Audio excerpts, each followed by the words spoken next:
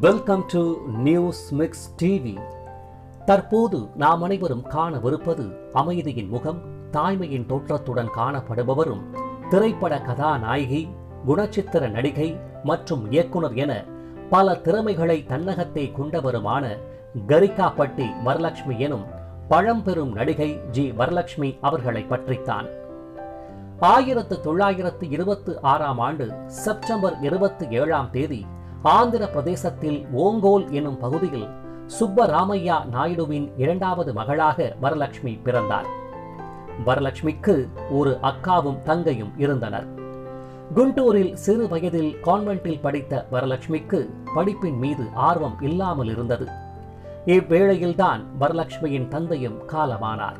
இதனைத் தொடர்ந்து சிறு வயதிலேயே நாடகங்களின் மீது பேரார்வம் கொண்டிருந்தார் வரலட்சுமி. அவரது உறவினரான துங்கபல சலபதி ராவ் என்பவர் விஜயவாடாவில் நாடக கம்பெனி ஒன்றை நடத்தி வந்தார்.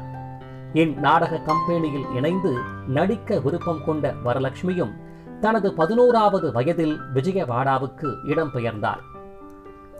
இதையடுத்து நாடக கம்பெனியில் இணைந்த வரலட்சுமி பாதுகா சக்குபாய் பிரகலாதா கிருஷ்ணலீலா போன்ற நாடகங்களிலும் முக்கிய கதாபாத்திரங்களில் நடித்து புகழ் பெற்றார் அது மட்டுமின்றி அந்நாடக கம்பெனியுடன் இணைந்து ஆந்திரா முழுவதும் பயணம் செய்து நாடக ரசிகர்களிடம் பெரும் புகழையும் பெயரையும் சம்பாதித்தார்.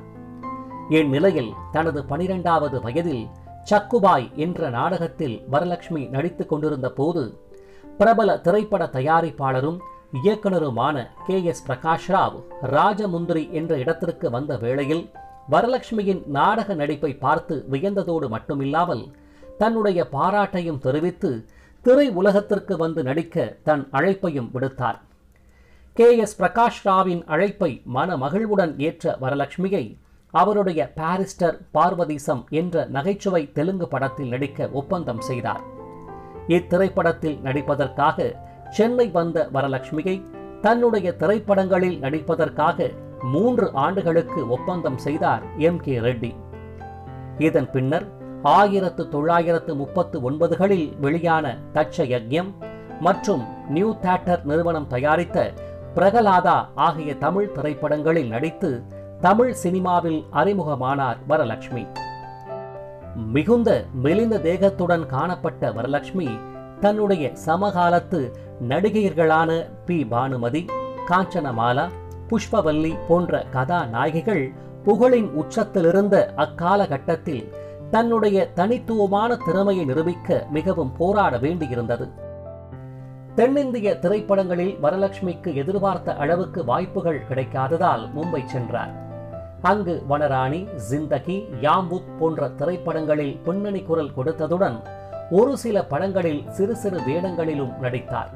இதனைத் தொடர்ந்து தனக்கு சினிமாவில் அறிமுக காரணமாயிருந்த கே எஸ் பிரகாஷ் ராவையை திருமணம் புரிந்து கொண்டு இல்லற வாழ்வில் தனது கவனத்தை முழுமையாக செலுத்தினார் வரலட்சுமி.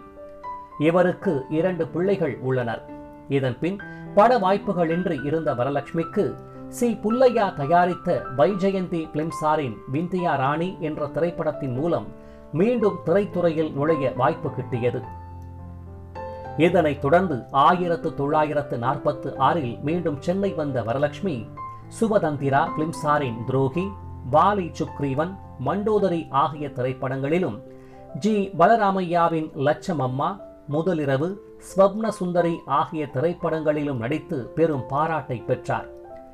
தமிழில் வரலட்சுமி நடித்த நல்லதங்காள் நான் பெற்ற செல்வம் குலே பகாவலி குழந்தையும் தெய்வமும் ஹரிச்சந்திரா போன்ற திரைப்படங்கள் மிகவும் புகழ்பெற்றவையாகும். குழந்தையும் தெய்வமும் திரைப்படம் தெலுங்கில் லேத மனசலு என்ற பெயரில் வந்து பெரும் ஹிட்டடித்த திரைப்படமாகும்.